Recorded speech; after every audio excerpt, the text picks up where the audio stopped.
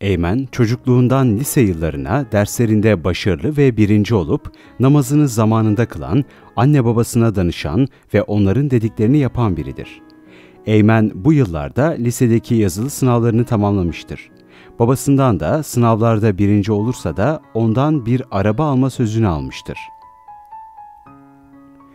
Sınavlar bitince Eymen'in internet yolculuğu da başlamıştır. Gece gündüz bilgisayar başında oturup erkek ve kız arkadaşlarıyla sohbet etmektedir. Bu ortamda hayat düzenini değiştiren bir grup kötü arkadaş tanımıştır.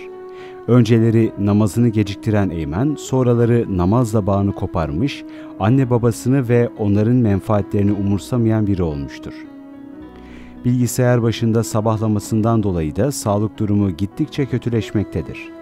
Arkadaşlarına güçlü olduğunu kanıtlamak için sigara ve bazı zehirli maddeler kullanmaya başlamıştır. Ve bunların hepsi sadece bir ay içinde olmuştur.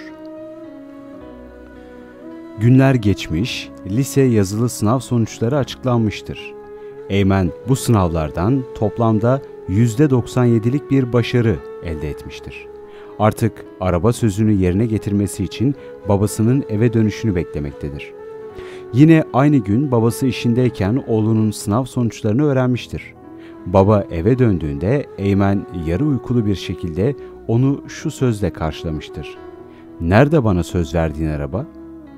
Babası ise gülümsemiş, onu kucaklamış, sonra da cebinden içinde Kur'an bulunan bir kutu çıkarmış ve al bakalım hediyeni demiştir. Eymen ise hediyeyi reddetmiş ve kızgın bir şekilde tüm bu yorgunluktan sonra bana bir Kur'an mı veriyorsun demiştir.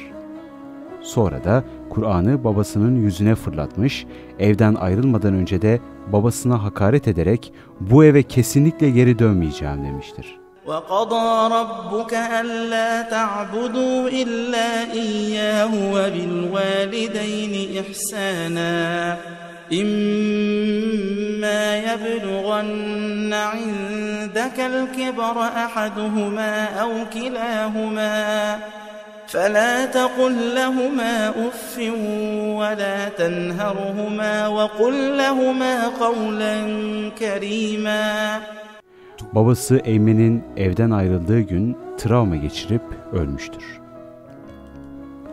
Birkaç hafta sonra Eymen yaptıklarından pişman olmuş, kötü arkadaşlarını terk edip eve dönmüştür. Kur'an'ı yere atılmış ve kutusu açık bir şekilde karşısında bulan Eymen, yaptıklarını hayaline getirerek derin bir üzüntü duymuş ve Kur'an'dan bazı ayetleri okumak istemiştir. Tam da bu anda şaşkına dönmüştür. Çünkü kutunun içinde sadece Kur'an değil, aynı zamanda babasının ona söz verdiği arabanın anahtarı da vardır. Eymen eğilerek bilgisayarı almış ve paramparça etmiştir.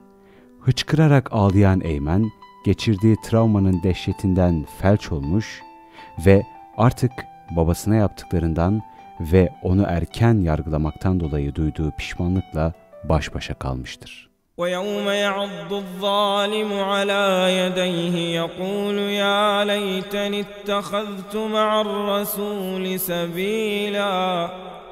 يا ويلتى ليتني لم أتخذ فلانا خليلا. لقد أضلني عن الذكر بعد إذ جاءني وكان الشيطان للإنسان خذولا.